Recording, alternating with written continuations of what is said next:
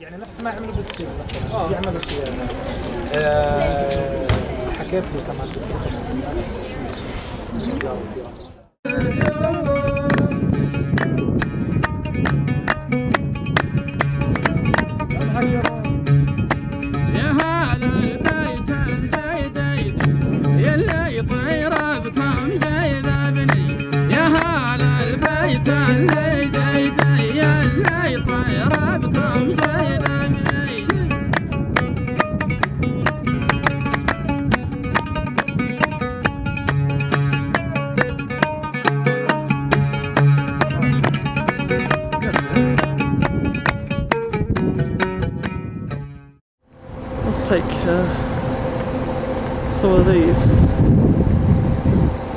What you expect, isn't it?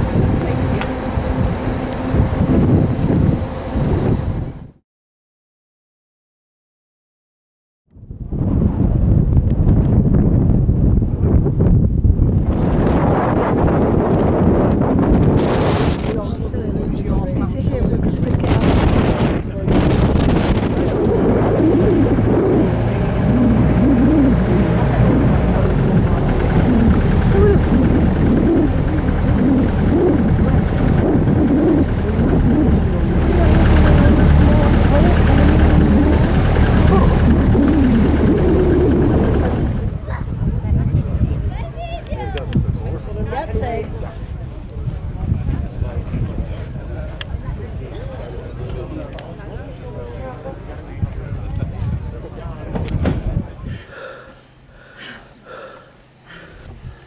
We did it! Well done.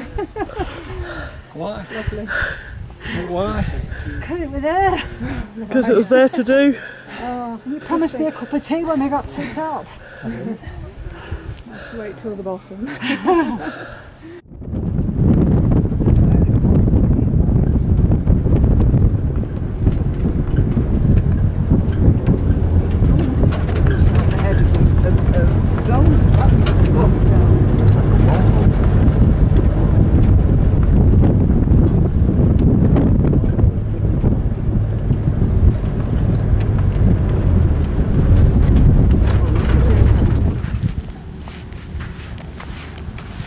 Make it sandy.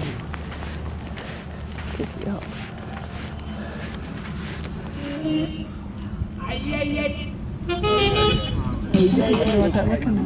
What? Leave it off. Just leave it off.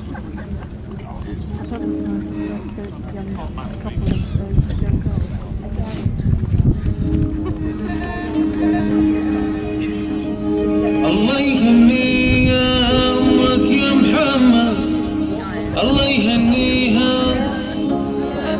بعلاليها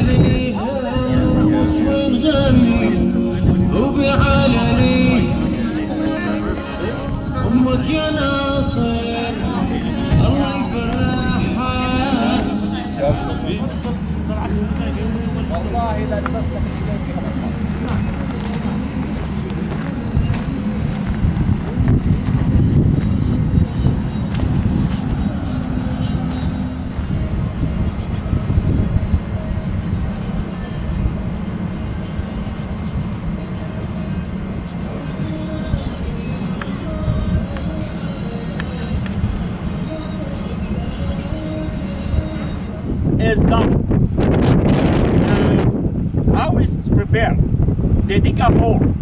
They dig a hole and they set a barrel like this. And when it's ready, they set fire in the bottom of, of the barrel.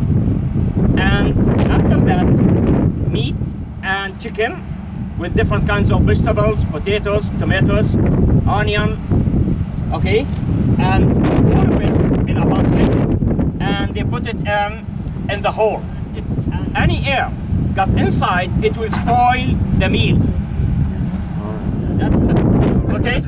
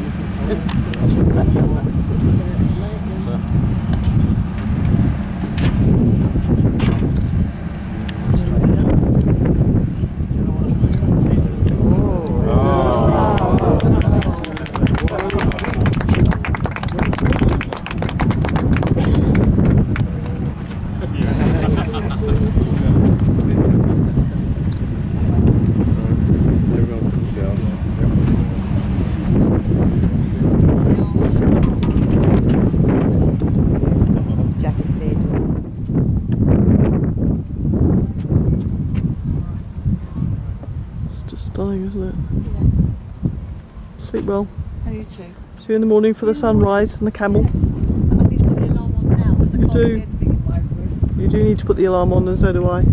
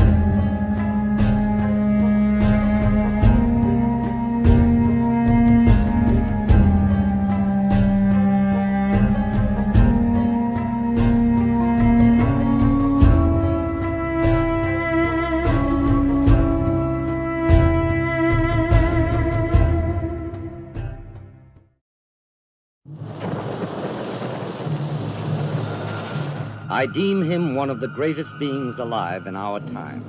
We shall never see his like again. His name will live in history. It will live in the annals of war. It will live in the legends of Arabia.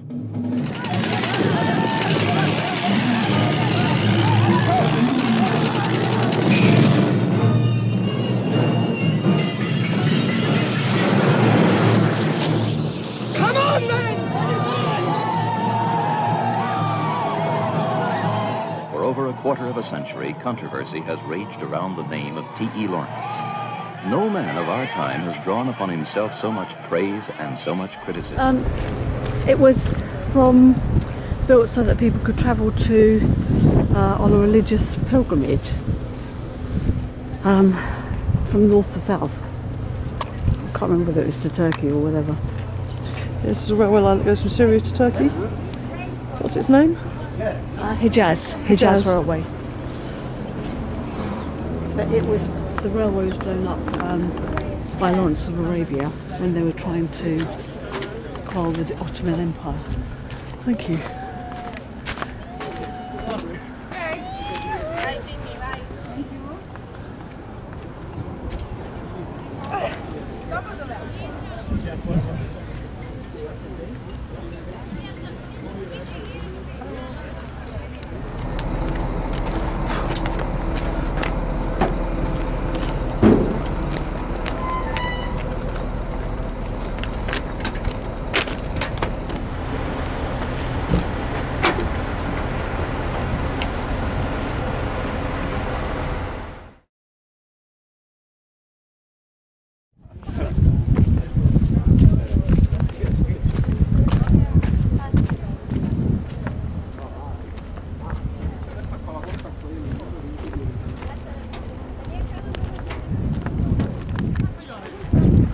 Typical Bedouin tent. I'm guessing that Abraham would have lived in something like this.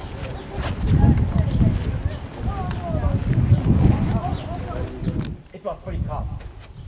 Because it, it used to be a solid block like this, and it was very carved by the Nabateans. As most of the buildings and the facades we will see here or tomorrow in the whole site of Petra, it was fully carved. And this is the only thing that survived from the ancient city of Petra. All the houses, all the palaces, all the temples, which were built by the Nabateans, they almost washed away, either by the earthquakes or by the frequent uh, uh, flash floods that took place in the city of Petra through hundreds of years. And until today, the city of Petra is still witnessing flash floods. And during winter time, when we have flash flood, they close the site. It depends, sometimes they close it for a day or for two days. Now, my friends, if you take a look at this facade, above the triangle, in the middle of the triangular pediment above, we can see a jar, an urn. Of course, urns what do they symbolize? Death? Or Wealth. wealth? For instance, nowadays, if I was digging and I found a jar, the first thing I would think about that it contains gold or silver left by the ancient people or the ancient civilizations, right? But in fact, according to the ancient civilizations, jars or urns, they symbolize death, not wealth. And this is taken from the, the Mesopotamian civilization. As according to historians, the first people who started cremation, they were the Mesopotamians. Burning the dead bodies, collecting the ash, and keeping it in, in a jar. And if you take a look at the holes, can you see the holes in the jar? Of course, the local Bedouins here, they thought that these jars contained gold and silver. So they used to shoot their rifles to break the jar, thinking that if they broke it, gold and silver would shower them. But later they realized that it is a solid. It is solid. It's not empty from inside. And so it contained nothing. This means that this facade, it was carved by the Nabateans to, to serve as a burial place. It was a tomb.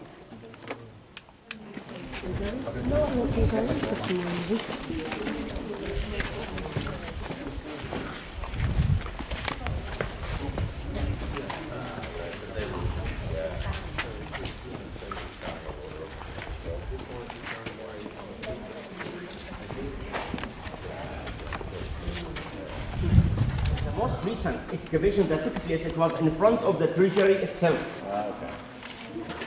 And that was in 2004. This is a triclinium, and one of them, it's where eating places has been decked out. The others are, some of them, they had two stories, had their complete water systems. This is where people ate. This is a rest place, Little Petra. Take care of my friends. Wonderful, cool, safe for the caravans. This is at the hotel. Forgotten what it's called. Old Village Hotel. What does it used to be? It was the uh, Bedouin. home. Bedouin village made into a complete hotel. This is the olive press. It'll be that up there. Yeah.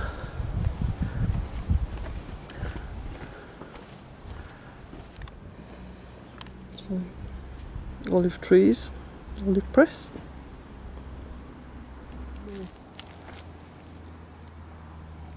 Yeah.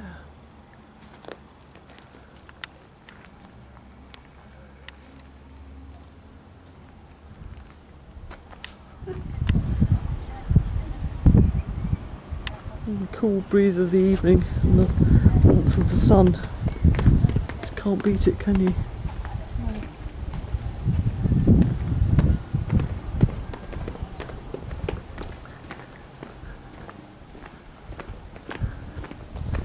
That's where we were sitting. This is where we were sitting, reading our books, doing proper holiday things. Walk around swimming pool there. Yes. Nice.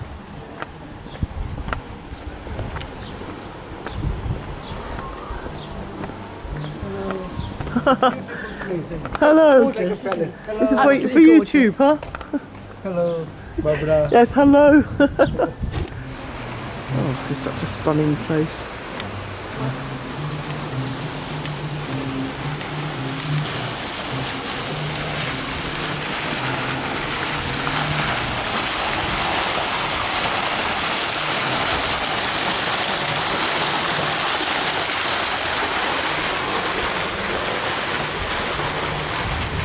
Hello. We catch the sunset from here. I caught the sunrise this morning.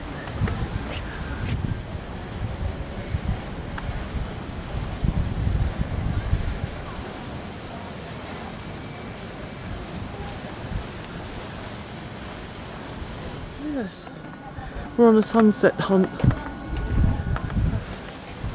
Well, it's just lovely to um, film walking around, isn't it? be able to walk round it in our mind's eye. Hello, madam. We are looking for a sunset. Uh, this way, please. What, the sunset? Yes, from this way and left. Thank you. Oh, ah, how kind. Thank you. Oh, yes, yeah. Yeah. Yeah. Good evening. Hmm, it looks nice. Nice supper we're looking for. This is it. Hey guys. Hi there. Look at that. I found it, Rosemary. Yeah. How long is it going to go? 20 minutes. Are you buying drinks?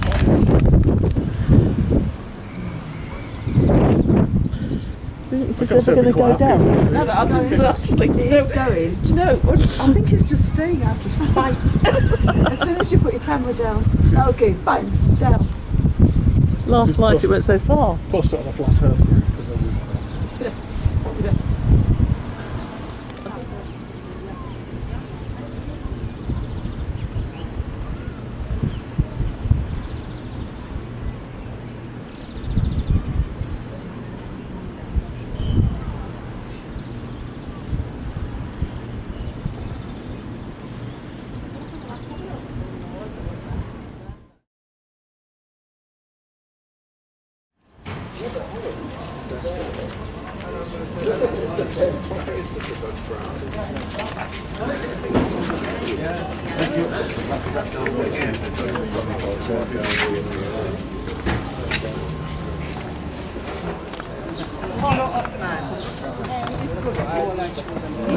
Vendors. that we were-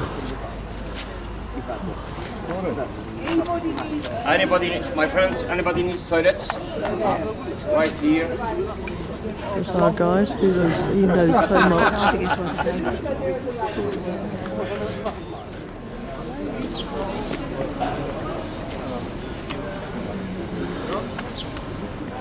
He's coming into Petra.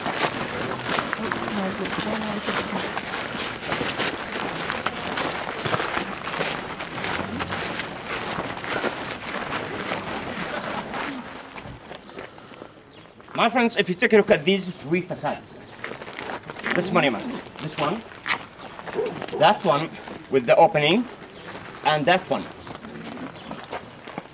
These are known as the genie blocks. The genie blocks, you know the genie? Aladdin and the lamp, okay? And remember, this is a new name. And this name, it was given to these three facades, or these three monuments, by the locals. As the locals here believe that the genie inhabited these blocks. But in fact, these blocks were carved, were carved by the Nabateans to be a burial place, to be a tomb.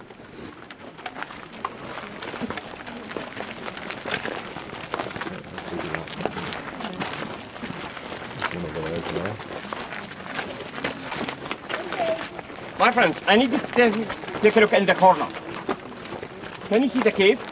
Mm. And what can you see up, uh, on the top of the cave? Steps. Steps, right?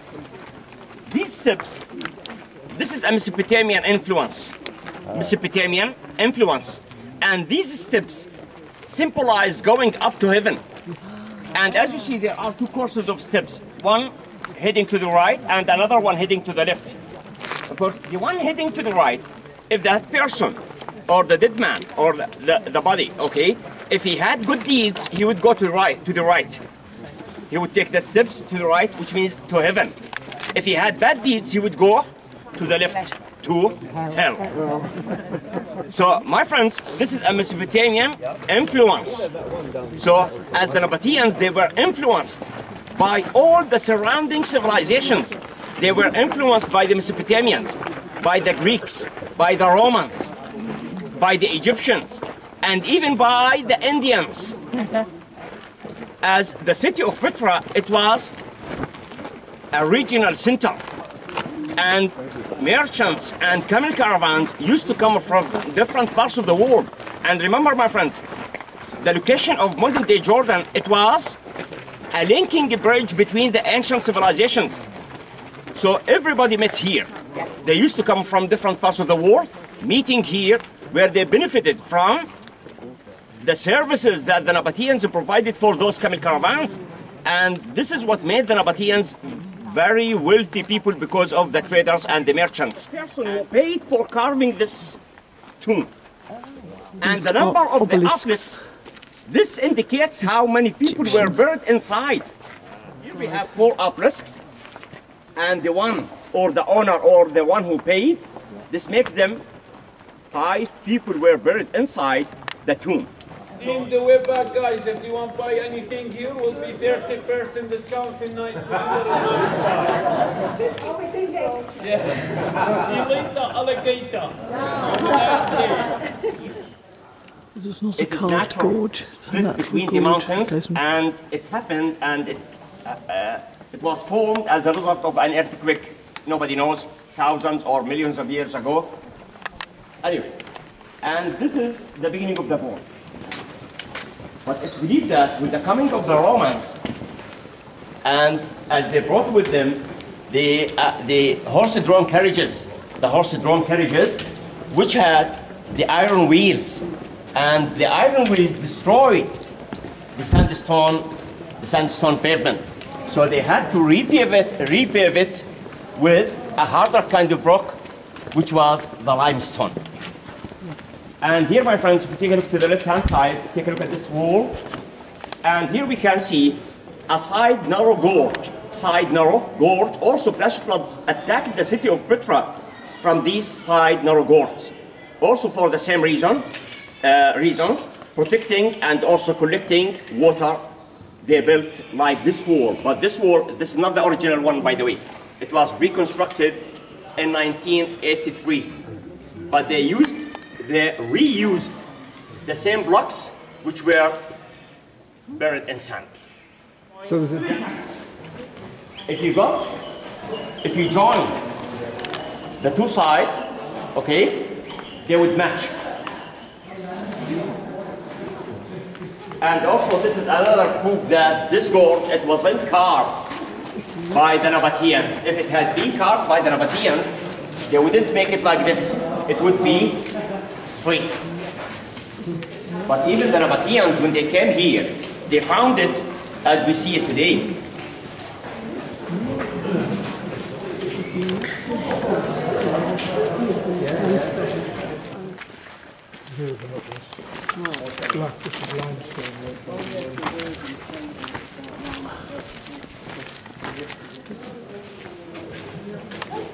Every time you turn the corner, it's yet more colour.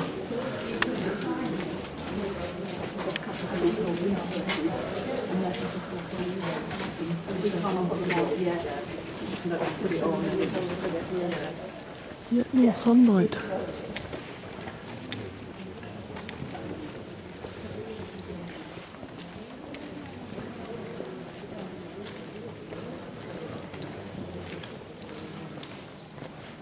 This uh, set of steps and it would be somewhere where the caravan, if they wanted to rest, could find refreshment.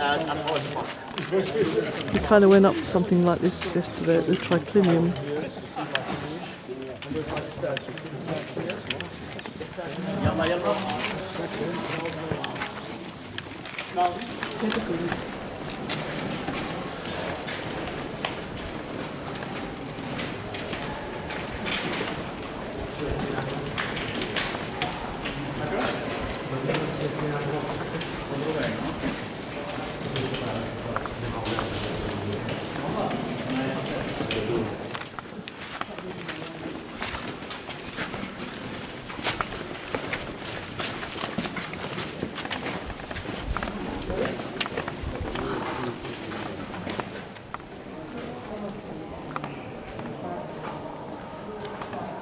This is the end of the gorge, and here, apparently, we will discover No, it's not all the treasury.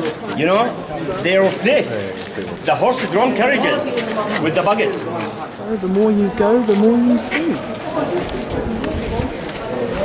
that's true. I will not say anything at this moment.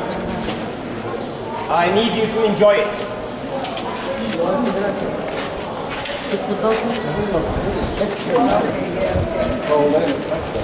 como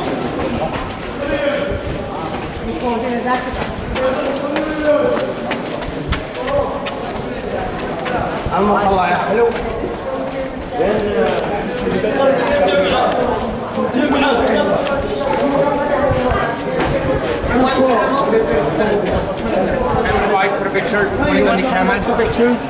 قدم قدم عني بعد قدم عني بعد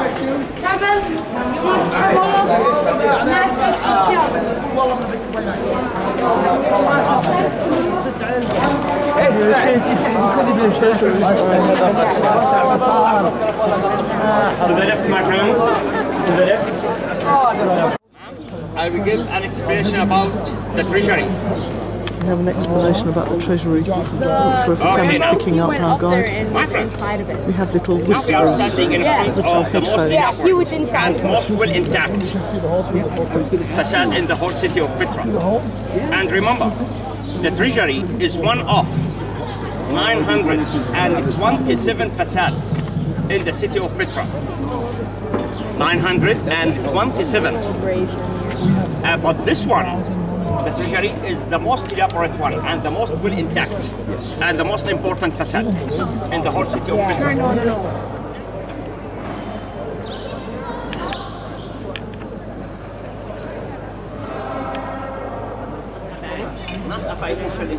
word treasury is a new name because of the jar at the top here. However, uh, people thought that there was gold and silver here, so they gave it the name treasury, but actually Mesopotamians were the first to cremate, and so it's likely, more likely that this is a tomb. This is an eagle, and they were given the charge of um, protecting the souls inside the tomb. Nabatean. But you said Nabatean? We're being asked how many columns can we see? Oh, he died in Six. Then became a god for them. So it became holiday. So Now the capitals, which is the top of the pillars. Only three kinds of capitals. Corinthian, which is A mixture of three kinds, Corinthian, oh, which is a Roman influence, Ionic, which is Greek influence, and also and Nabatean. the Nabatean capital. So many influences. So many influences in these capitals. Zach, you remember the Medusa? capitals. Greek, Roman, and Nabatean. Uh, there was a statue of Medusa when in. Roman and Nabatean. This is the activity here. There's that gorge that we came out of and saw this amazing building. Excavation. Carrying around the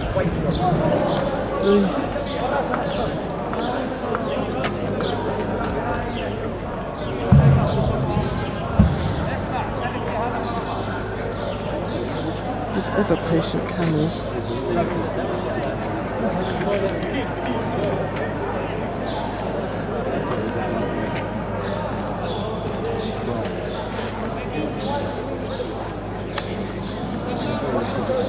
And it's believed that this facade it was carved between 50 BC and 50 AD. And it was dedicated for one of the most successful Nabatean kings, who was Aretas IV. Aretas IV, who became a divine king. So, this facade, my friends, it's no longer a treasury. This is a name that was given by the local Bedouins who lived here before 1985. It was a burial place for Aretas IV, the most successful Nabatean king, and who did a lot of good things for the Nabateans. That's why he became a divine king after his death.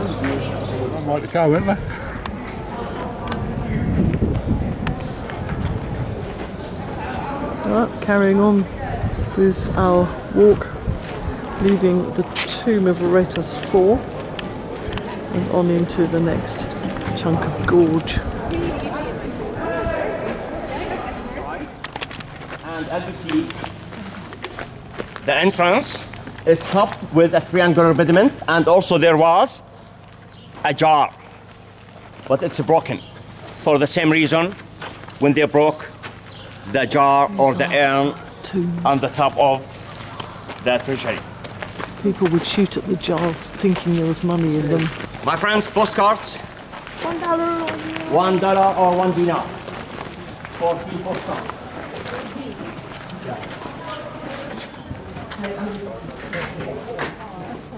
This is a cafe.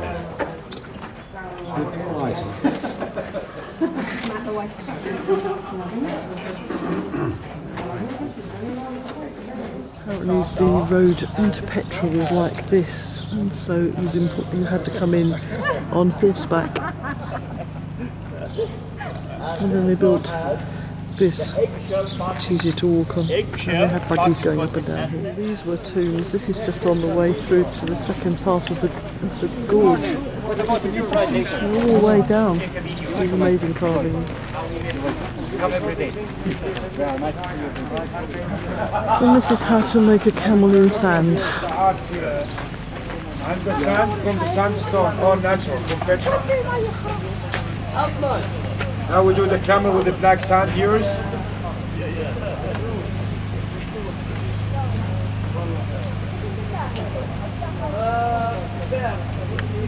We do the legs, the camels. We use the camel picture Oh, very clever. That's the glass. And also we do the name. It's like anybody, if you trusting with the name. And the location.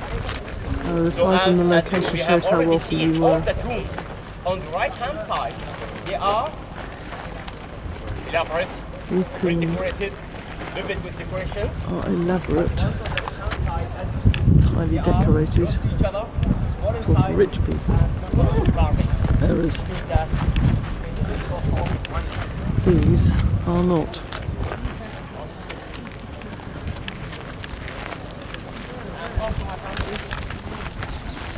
This is the amphitheatre.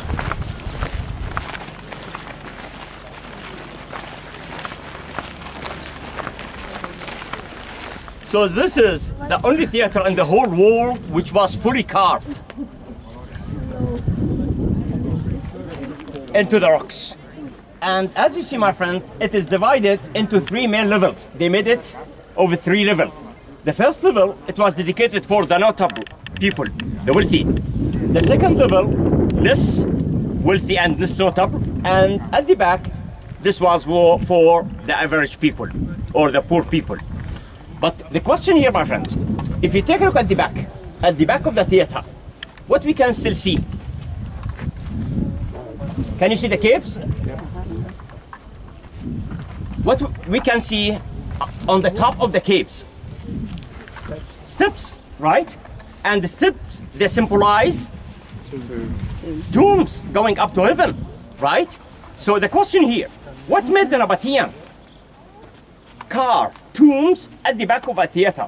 And we all know that theaters, they were made for entertainment, entertainment, for entertaining people.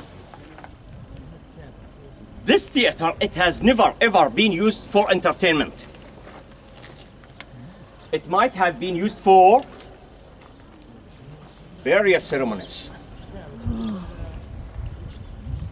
for religious purposes, not for celebrations and shows and entertaining people. These are all natural, colours as well.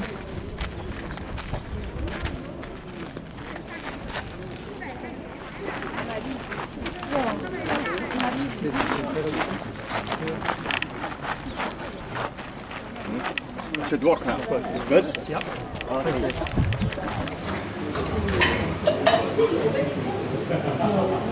This is freshly squeezed.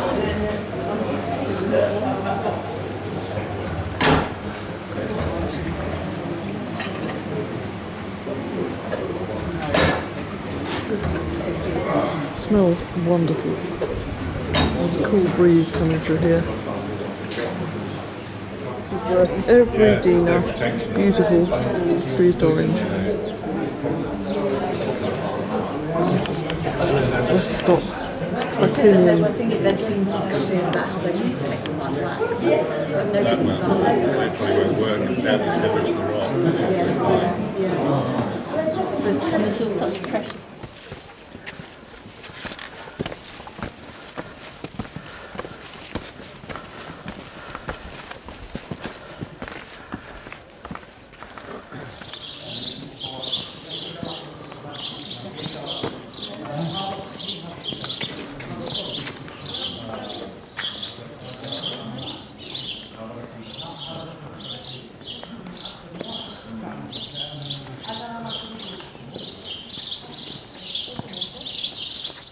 There are 30,000 people lived here, and these have all been tombs so far. So we are being asked the question: Where did they live?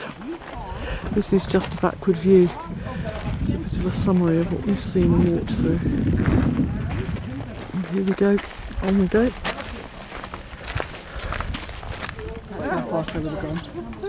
And now, my friends, here we come to a different part of the city of Petra.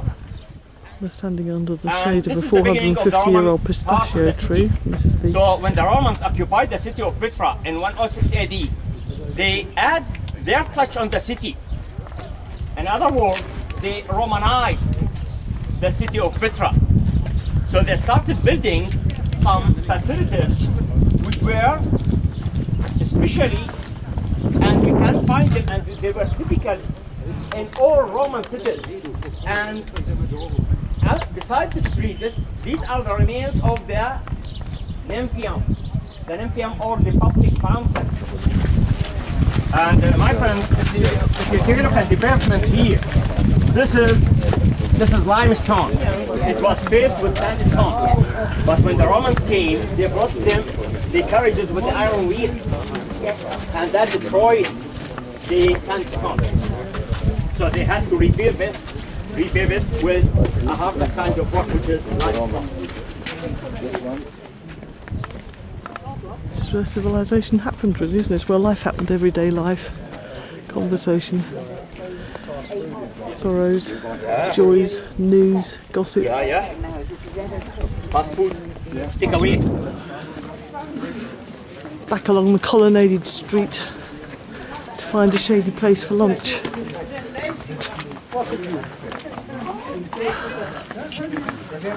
In speed, we made it back to this beautiful, beautiful shade in about 45 minutes. The reconstructed face of a Nabatean man, based on the physical anthropological study of the human skull that was found in the window tomb in 2003. Human bones are rarely recovered in Petra. The man was around 50 years old and of high social status. This is the only example of a reconstructed face of an Nabatean. They were clever chaps. Day five in Jordan, and this is Shobak, Shobak Castle, it's Crusader Castle. Built on its own land. Very impressive.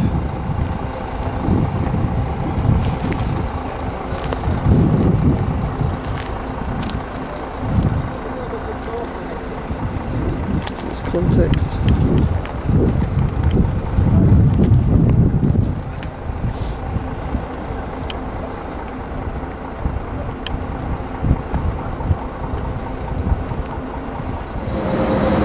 I've seen this quite a lot, uh, made into various pendants and jewellery and mats and coasters. It's actually very beautiful.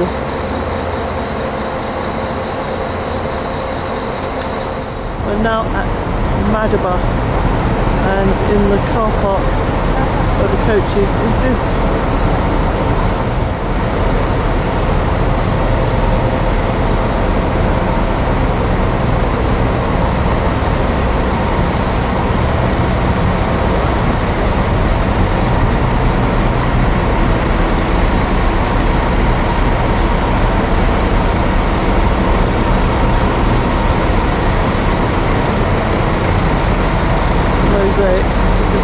Home of mosaics.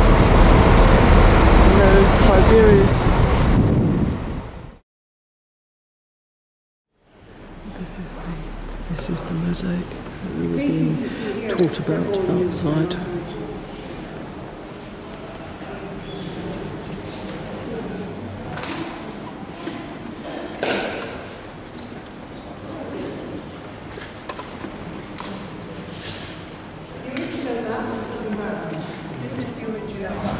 So this is us having lunch in Madaba, mint tea and lemon with mint, which seems to be mainly mint.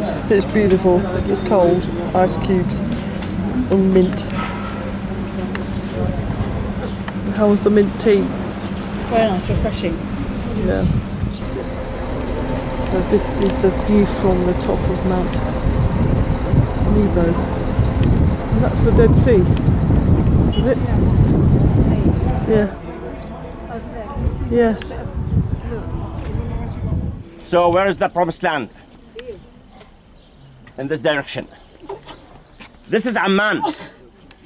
Amman is located in, to the north of Mount Nebo. This is Amman, the capital of modern day Jordan. And to the left hand side, the River Clook direction, this is the Dead Sea. Dead Sea. And even on a clear day, beyond the green area, we can see Jericho. And Jericho is the nearest city in Palestine. It's only 27 kilometers from here, from the top of this mountain to Jericho. Only 27 kilometers. And Jerusalem, Jerusalem, 46 kilometers only. And it's straight ahead. And a clear day, we can see, during the day, we can see the mountains of Jerusalem. And during the night, we can see the lights of Jerusalem. Given the name of Mount Nebo.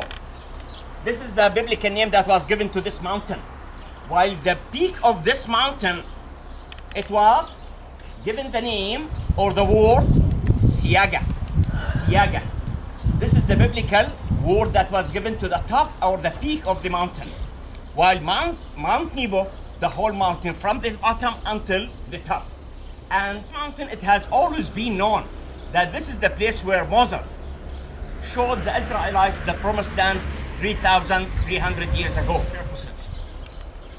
And you know the story of Moses when he got the Israelites out of Egypt, and it took them 40 years from Egypt, crossing the Sinai Peninsula, and also crossing the the Red Sea on a dry ground when they were followed by by the Pharaoh and his army. And when Moses was revealed by the Lord to strike the sea with his staff, and it split. So Moses and his people managed to cross the Red Sea on a dry ground. And when the Pharaoh and his army followed them, they were drowned. And after that, it took them 40 years roaming the desert of Sinai until they got to the top of this mountain. So this is the message that this monument wants to deliver. That this side or this mountain, it is or it belongs to everybody. And this is what makes Mount Nebo the second most visited site here in Jordan after Petra. As it's visited by the Jews, the Christians, and also by the Muslims. And this is the memorial of the Prophet Moses.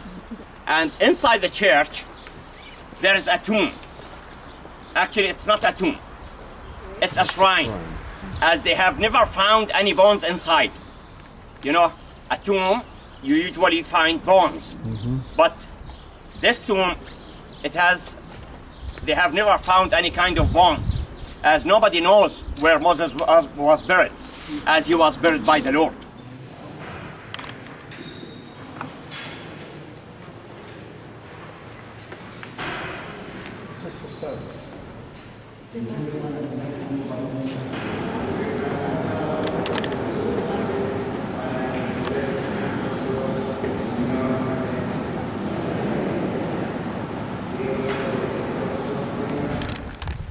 Makes changed to have a different voice. These ruins are the um, bricks that were used in the monastery that was built in the 5th and 6th century.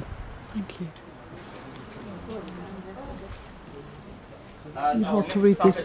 Mount Nebo is inhabited since remote antiquity.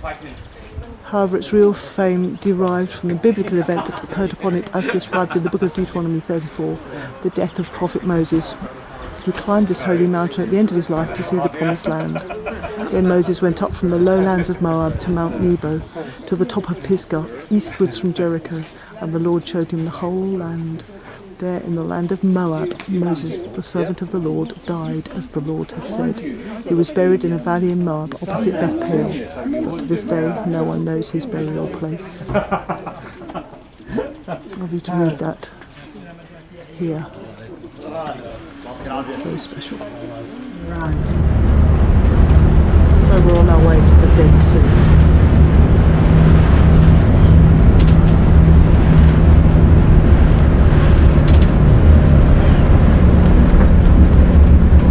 You see how uh, this is. This really was the trek to similar.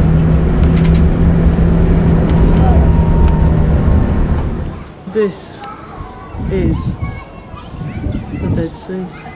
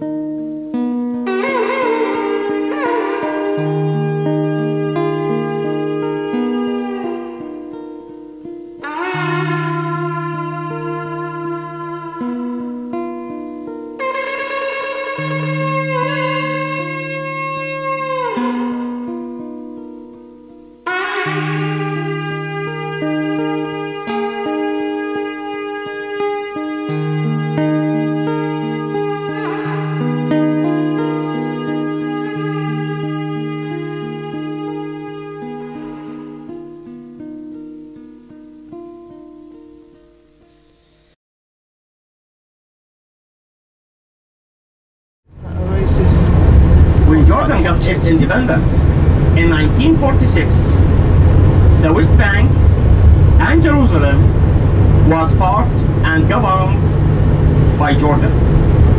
Driving up the River Jordan, well, up the top end of the Dead Sea.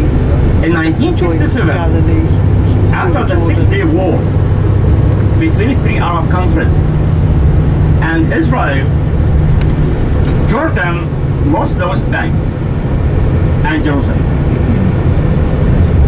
Syria lost the Golan, the Golan Heights, and Egypt lost Sinai Peninsula and Gaza Strip. And Jordan is the second Arab country to sign a peace treaty with Israel. The first Arab country was Egypt in 1978 and Jordan in 1994. The citizens of Jarash, in order to commemorate the visit of the Roman Emperor Hadrian, they erected him this arch. Okay,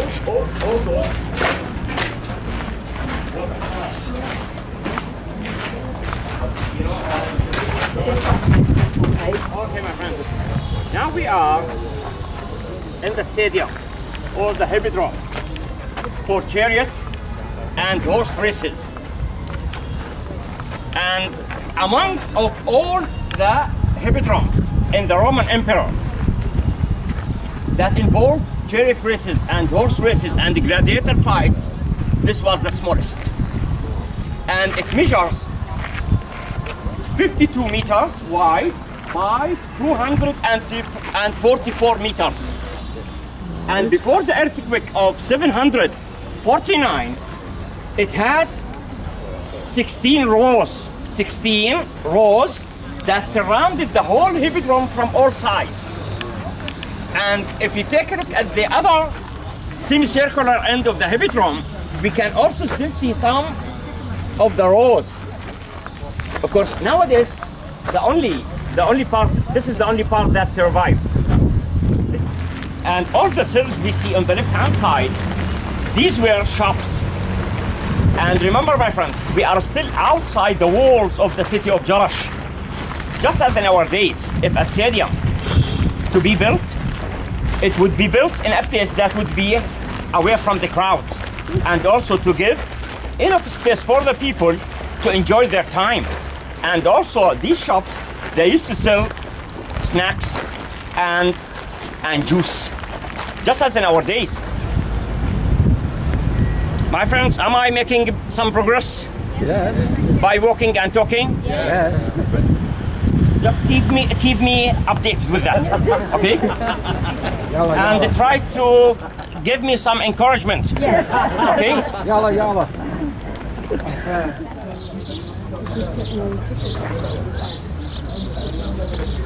The uh, city of Jerash was surrounded by walls with towers every so often. I should think a little bit like Hadrian's Wall in the UK.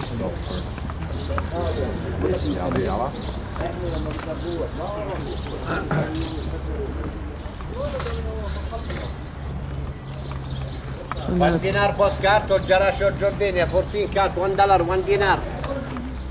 So the Romans, when they came, there were already some buildings here.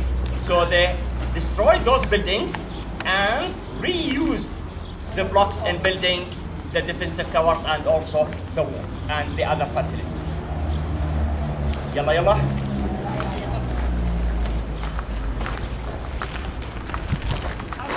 Remains of, of the shops. More and shops. these shops, they used to sell different kinds of items.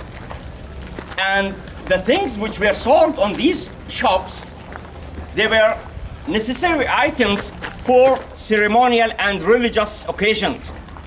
As the wall we see on the left hand side, this is a small portion of the huge complex which is the temple of Zeus. The temple of Zeus. And here in the city of Jarash, two temples were built. The temple of Zeus, which was dedicated for the for uh, the god Zeus, and another temple which was dedicated for Artemis. Now, my friends, we are standing in one of the most important facilities in the city of Jarash. Take a look at the surrounding. All what you see here, this is the original. Not a single thing has been reconstructed here, except the column in the middle.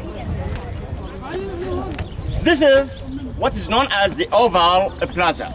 Oval plaza because it has an oval shape. This is a new name. This is the forum. And also, it was called then as the Agora. Agora. In fact, this was downtown Jarash. And this plaza, it was mainly used for socializing and meeting. Announcements. Announcements also took place here. In addition to that, honoring the gods and the goddesses in a public place also took place here. Can you see the Jordanian flag? There was an altar there. And this is where the offerings and the sacrifices were offered for the gods and the goddesses. And the most important thing about this plaza, that it served as a hub. You know a hub? Yes. It connected the different parts of the city with each other. So people used to come here, and if you take a look behind, these steps leading to the huge courtyard of the temple of Zeus. Of course, the only part which was reconstructed, the steps only. And it's typical for all Roman temples to have a huge courtyard where people met and people used to do their prayers in the courtyard. Let me tell you about the other temple, which was dedicated for Artemis. So, what made the Romans, and before the Romans, the Greeks, built two temples in the city of Jerash? Of course, because at that time, two parts of people inhabited the city of Jerash the Hellenistic part of the population and also the Arab. The Arabs inhabited the city of Jerash. Of course, the Arabs, they preferred Zeus. While the Hellenistic part of the population, they preferred Artemis. Course, Artemis, it was more important for the citizens of Jerash more than Zeus. So my friends, the courtyard and the temple itself, it's accessed from the Oval Plaza. And take a look at the building beside the Temple of Zeus. This is the Southern Amphitheater. And this is the largest here in Jerash. And it accommodates about 5,000 spectators. Oh, this is looking back on the Oval Plaza where we were standing.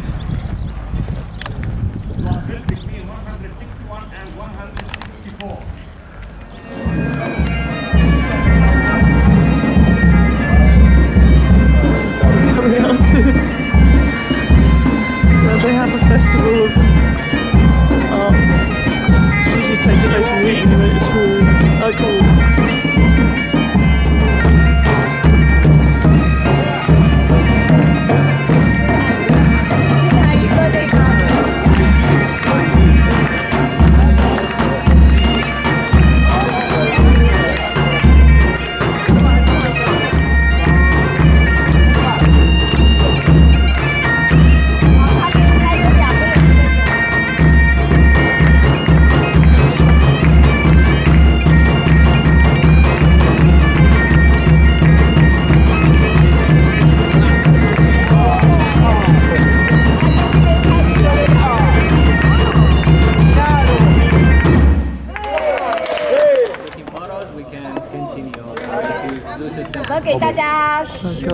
Guide Otman saying thank you. The Southern Amphitheater in the city of Jerash. So leaving the stage.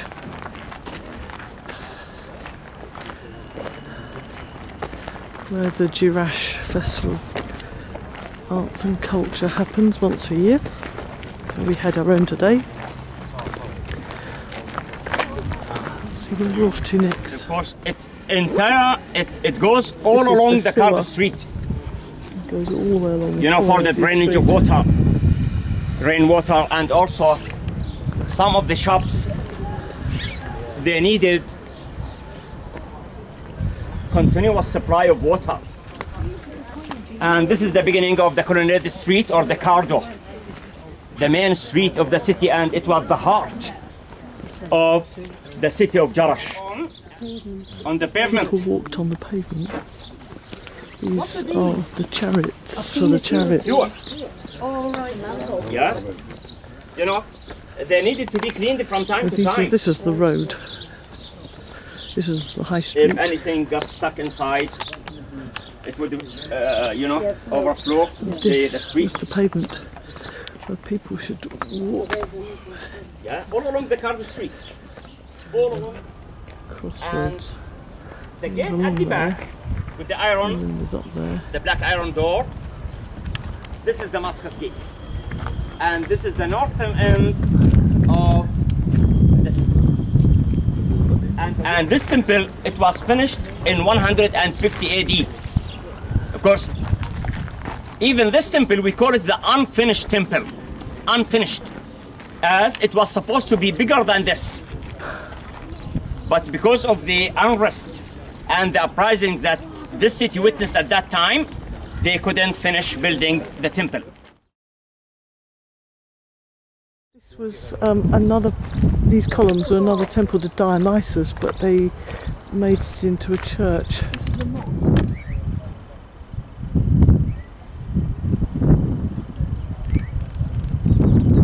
Singing his heart out.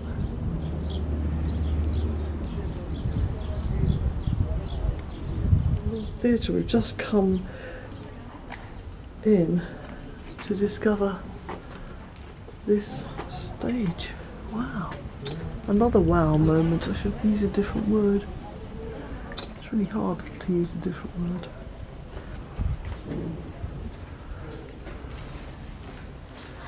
Hi. Thank you. Be careful when you go down the ago. Thank you, okay. Okay. Stairs rather gingerly.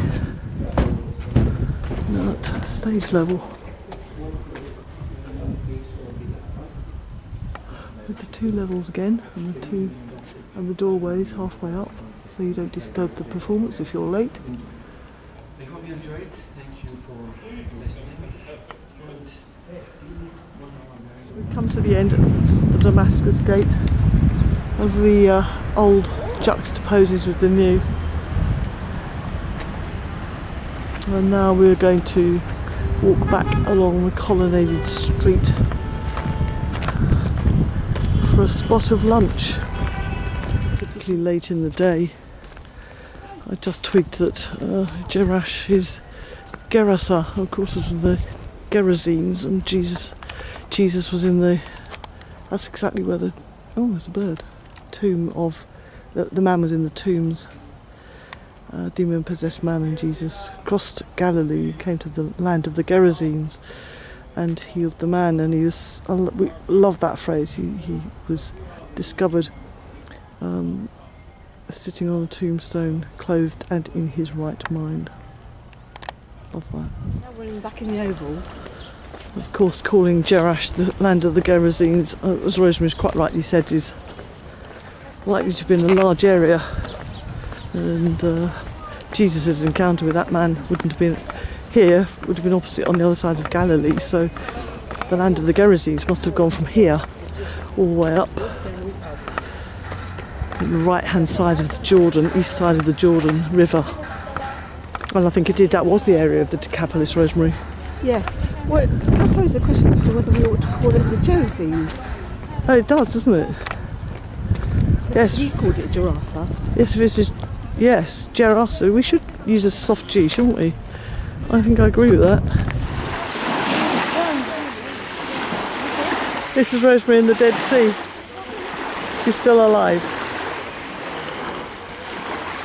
It's this the, the Dead Sea is remarkable because it's freshwater Galilee with the snows from Hermon, Mount Hermon, flow into Galilee, which is fresh water, and then there's the River Jordan, and then he comes down to the Dead Sea, and the Dead Sea is, has such a high concentration of minerals and salts, nothing can live in it. Amazing. So, what's your what's your hoped outcome from this experience? Uh, That you should be young and beautiful again. No, th- oh, that's never going to happen. That That you will feel soft and renewed or outcome is that I revigorated. will remember it for a long time, and not because I've got some. The opportunity for a free Dead Sea product. Yes. You would never know that it was dead. That nothing can live in it. Would you?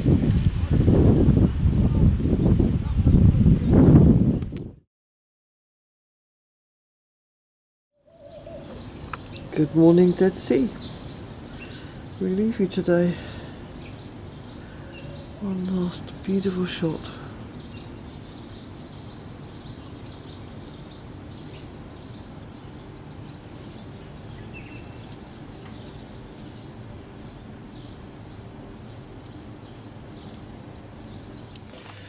You've never seen anything quite like this. This is uh, shoes from the Dead Sea. I tucked in this morning.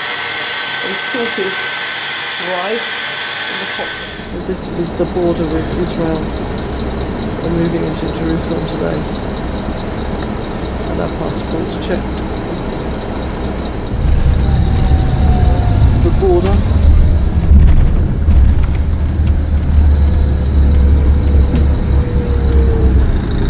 Maybe we can the same route.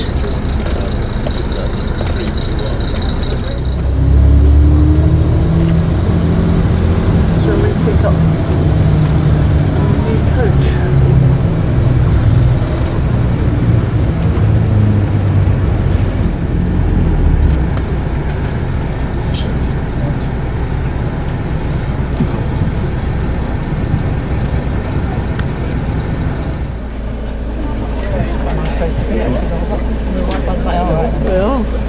New coach.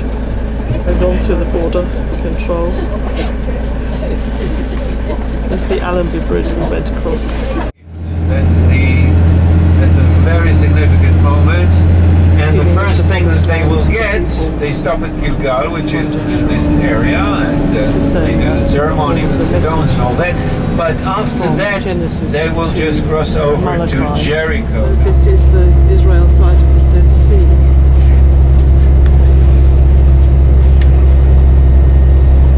Um, a neighborhood, an Arab neighborhood that's partially inside Jerusalem, partially outside This Jerusalem. is going up Mount Scopus, where the university is. We're circling the university to go to Mount of Olives.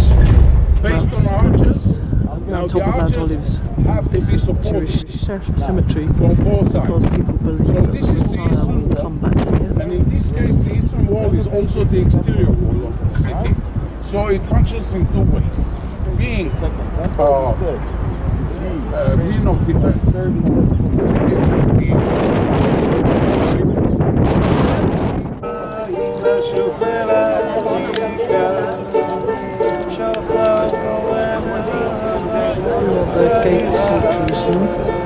Here the Golden Gate.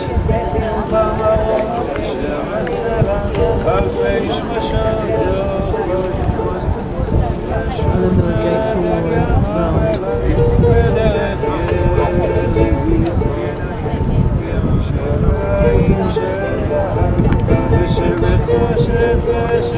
then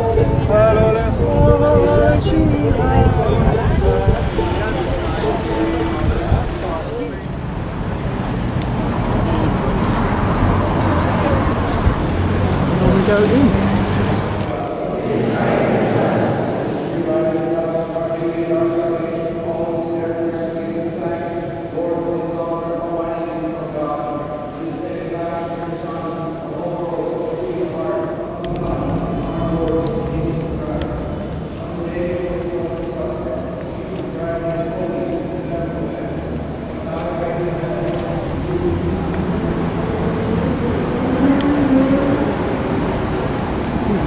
Up into this, which you now know is the Golden Gate.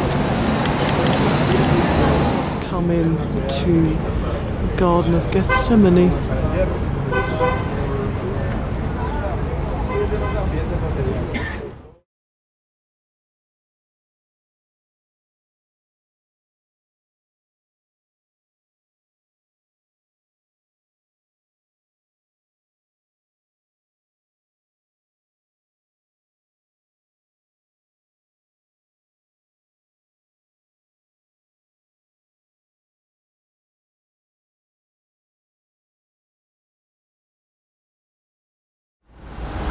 So some guys have, some of us have gone into there for, I'm pretty sure it's there, for falafel and chips. And why not?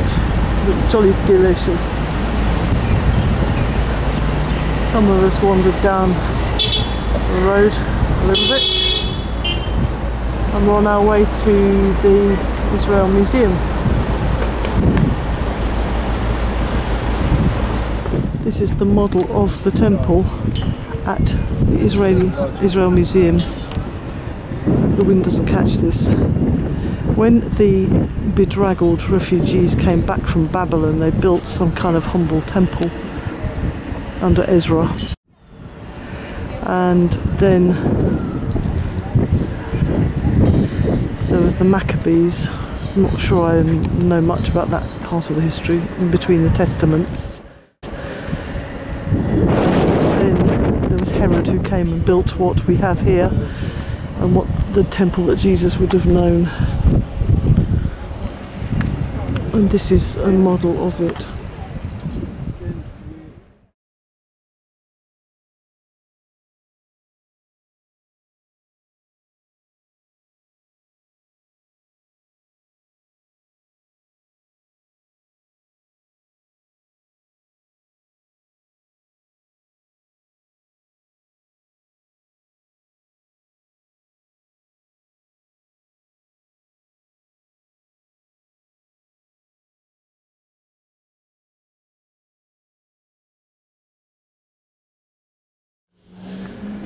A moving display of human tragedy and suffering on a worldwide scale. I know we call it a world war, but you don't realise how much of the world was sucked into this story. Suddenly, the word lament takes on a whole new dimension.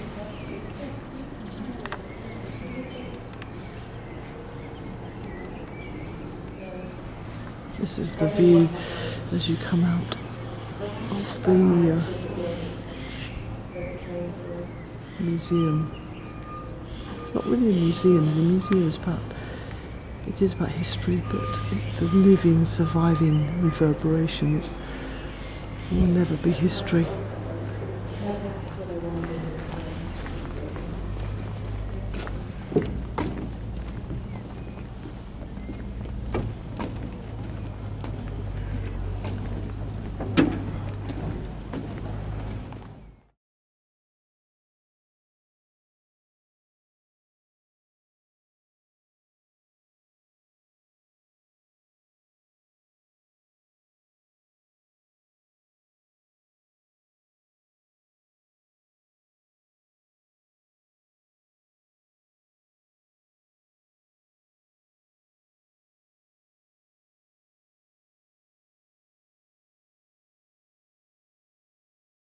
This is the Western Wall, sometimes known as the Wailing Wall, there's the women, and here are the men.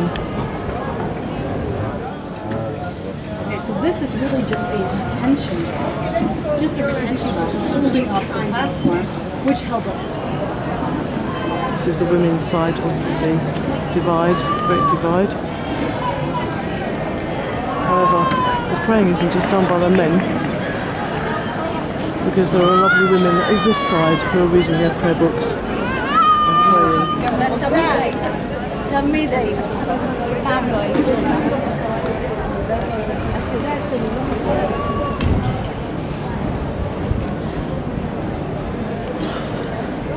Now we're into the uh, Church of the Holy Sepulchre. We have to turn to the right as soon as we get in.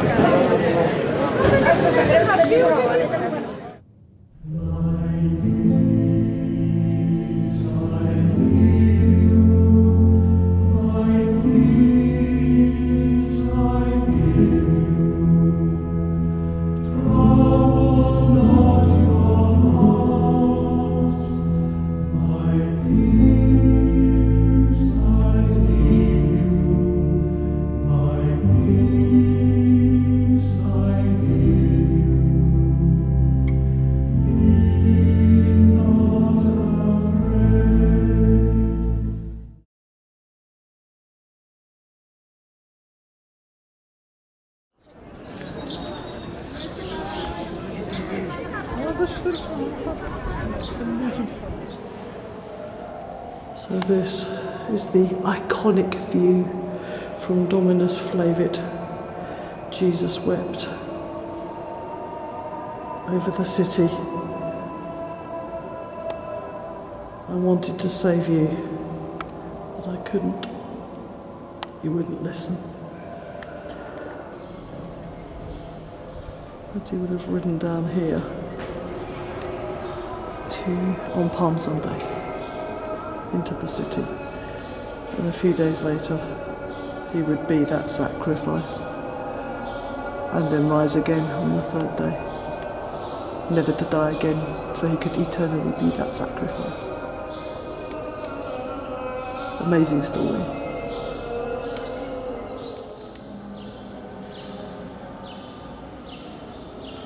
I've never seen this little chapel empty. We're blessed to have it today all to ourselves.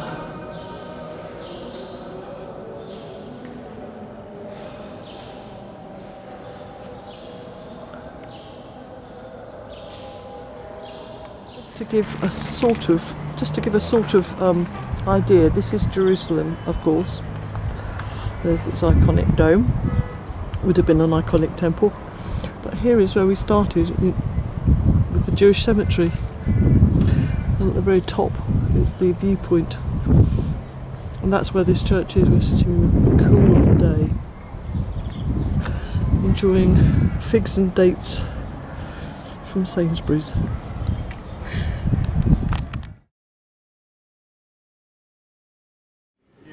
We're stepping out onto Temple Mount.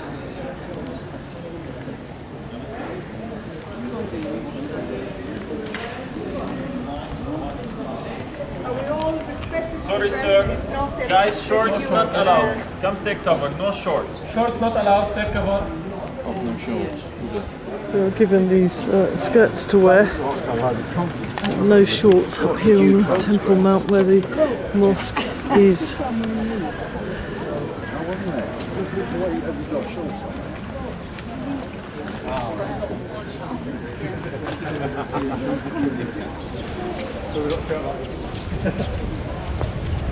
This is a very beautiful mosque.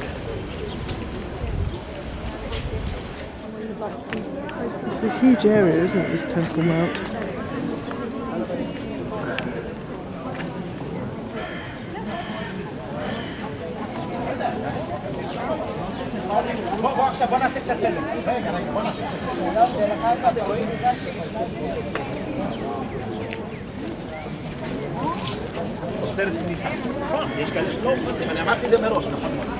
راجع كيف احنا مستقلين راجع هلا احنا عملنا شو كنا نسوي بحالك كل اسبوع بعيد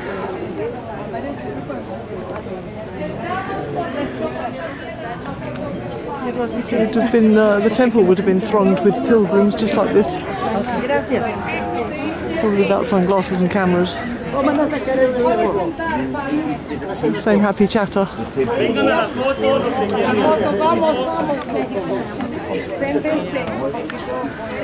And they would have been singing psalms.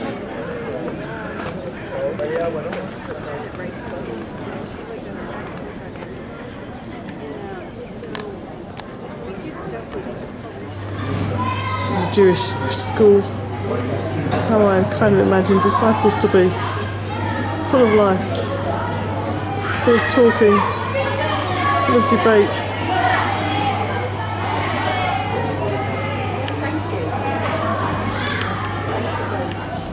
Is uh, now walking up to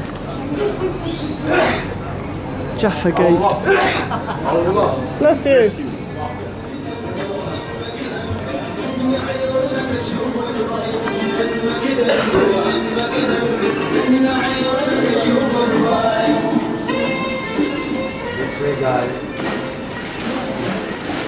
The shops are just opening. It's uh, 10.15 in the morning.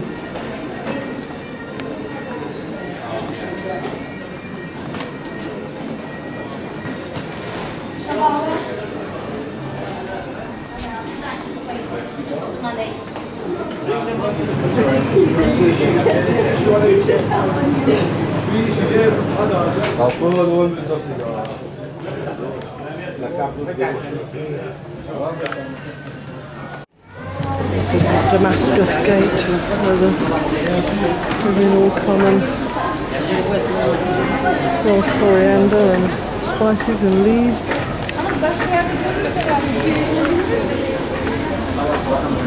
This is where everybody does their normal shopping. smells are glorious.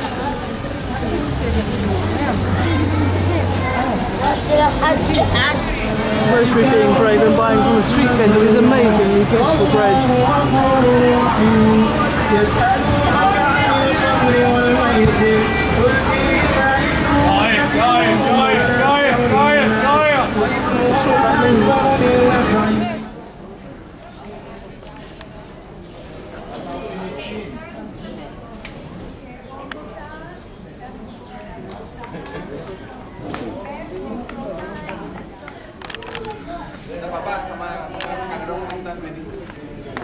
Garden tomb is down here.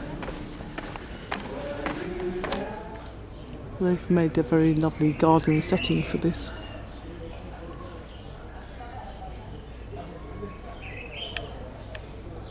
It's interesting that this, um, Rosemary's just commented and noticed that this is a, a kind of gully across the entrance. It may well have taken a heavy stone as a seal, as a, store, as a doorway.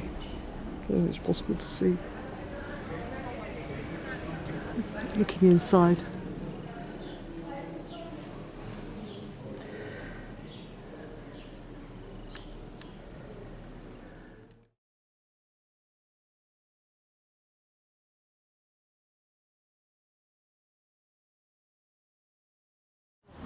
Just looking at the topography of how they built the wall above the um, the ground is just this is Crusaders. It's just um, an engineering feat, isn't it? This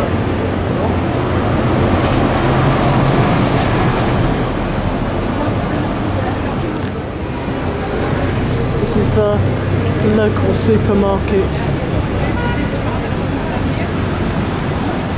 Beautiful fruit and veg. The size of these lemons.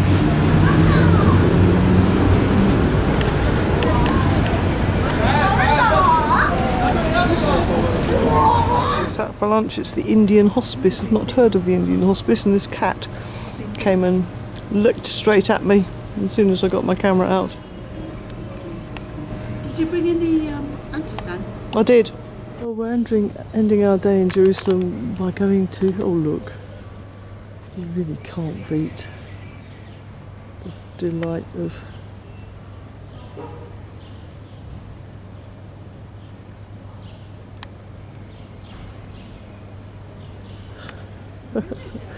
All over the world, kittens, puppies.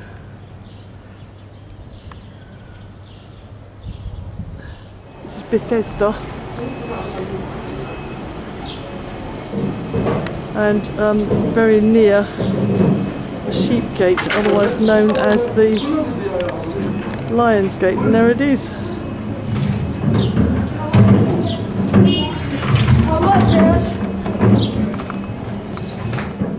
If you read the Bible bit, um, it says he went to the sheep gate and went to Bethesda.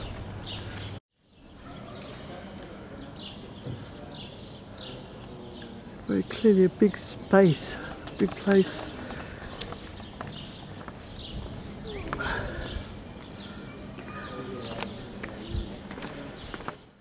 This is where he'd healed a man who'd been paralysed for 38 years and couldn't get into the healing water. He engaged with a single individual made a difference to his life.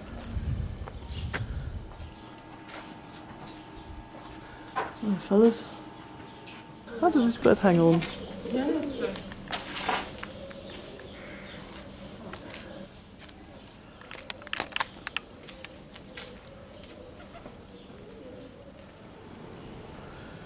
This is the Church of St Anne at Bethesda. It's just such a beautifully plain church. It's rather nice uh, statue of Mary as a girl being taught the scriptures, my guess. Being taught about God by her mum. So the weary pilgrims plod on home, ready to pack for a very early start tomorrow. How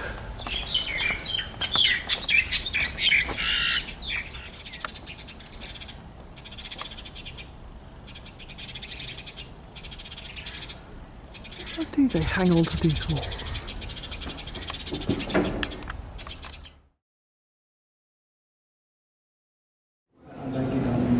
So this is 5.30 in the morning, we're just about to leave and we've been given coffee and cake, which is lovely.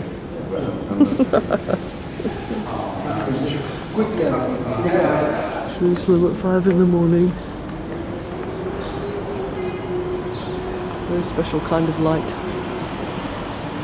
And a great trip.